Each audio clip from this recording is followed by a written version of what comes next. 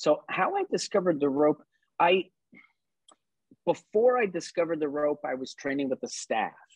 And I was I was sort of, you know, manipulating the staff with the figure eights of the hands. And it's a very, you know, it the feedback is very, you know, immediate.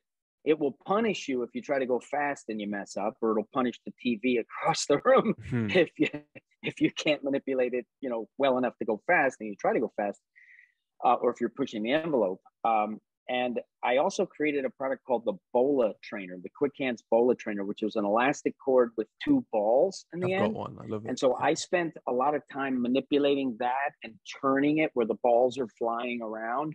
And so I was manipulating the string from the center, which is extremely challenging to do. It takes hours and hours and hours of practice.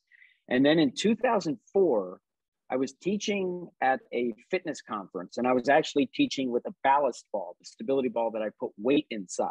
And that's what mm-hmm. I was teaching at that conference. But I met Buddy Lee, who's one of the world's best jump ropers, and I watched him perform and I was just dazzled by his capacity to like just move that rope so amazing. And it was very, you know, magnetic for me. I was like, wow, I want that movement quality. And with one of his ropes that he gave me, I came back, landed in San Diego from New York City. And, eh, you know, 10 30, 11 at night, I went out in the backyard and I'm like, okay, I want to do it just as good as Buddy Lee. And I started the journey. I, I, you know, jumped through the rope and, you know, tried to go to the side. And then I came to the realization I'm like, wait a minute, why am I jumping through the rope? I want to learn all the stuff that is the fancy stuff. Like I can jump the rope, I can do it running, I can double under. Like, okay, I, I've got that skill good enough that I can jump a rope. And I don't have any of the fancy skills yet. I mean, I could do like a crossover or something like that. But by making the decision to say, okay, 30 days, and I'm very intense. So when I make one of those like goals, it, you know, I, I follow through. So 30 days, every day I train, I don't jump through the rope, not even once. No matter how tempting it may be, don't jump through the rope. And so that led to the practice of figuring out, oh, I've got to turn right, I've got to turn left. And if I start to change me, oh, well, then the rope pattern must change. And there's four fundamental patterns that emerge. And that's just the structure, functional reality of a human being with a rope. And in that process, I started to recognize, like, oh my gosh, this is the path to martial skill. Like I had studied some martial arts with no progress essentially because I, you know, I didn't have good instruction. I didn't know where to be and how to be there. And the rope teaches you how to spiral and rotate and move with total coordination. So you know where you are in space. So suddenly the martial arts moves, oh, I, have got that in my body already. right. Because it's you're working boom. at a foundational level before. Yeah it's the supination and the pronation and the extension, the flexion, and like the whole thing, and it's always integrated. So the rhythm and timing that, and sequencing of everything. Yes, and and the fluid continuity of your hand down to your feet.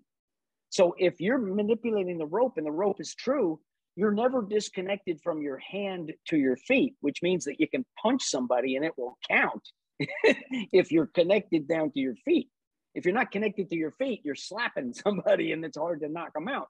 But if it's if you got everything and all your body weight and it's always integrated, well, now you suddenly got, oh wow, genuine capacity that now when you start to learn the particulars and the specifics of the different, you know, martial modalities or martial styles, you can actually fill it in and you can fill it in much more rapidly than if you don't have that simple skill set of the manipulation of the rope and i recognized that.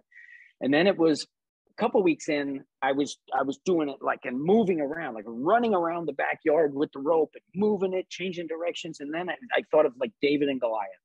I was like this is how it must have happened. You've got this guy you know he's a teenager he's he's out there you know defending the sheep as a shepherd and you got to protect the sheep. When a lion or a bear comes, well, what are you going to do? Because if they get one, they're going to get them all. So I went inside. I, I, opened up the Bible, and it it was like one of those like oh, moments because my birthday is one seventeen. In the Bible, it's one Samuel seventeen. is where that story is found.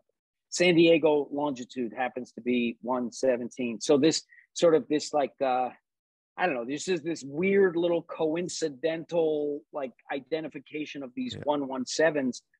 It, it it it fueled me even more as if God has a purpose for me type of, mm-hmm. you know, feeling. 117. and so you know, 117 and and I it's one one's heaven. Oh yes, you know, and then I say heave on, as opposed to heaven, it's heave on, right? You you got the burden of being a human, and you, you got to keep on marching, no matter how bad it gets. Take another step, right? If I don't hmm. take another step, well, I can't get out of the problem. I can't get to the solution.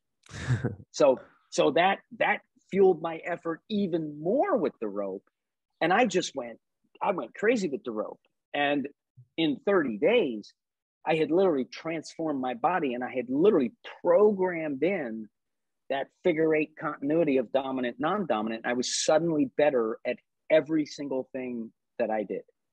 Literally, there wasn't a thing, including reading, because this this this idea that I can take the motor sensory cortices and I can run them in a pattern that gives me this equal and opposite sort of neural engagement it harmonizes the brain and then suddenly the frontal cortex and and the temporal cortex and all these other aspects of the brain starts to harmonize organized about this sort of engine that if i'm moving my hands in this pattern there is a neural a neural connection that corresponds to that pattern.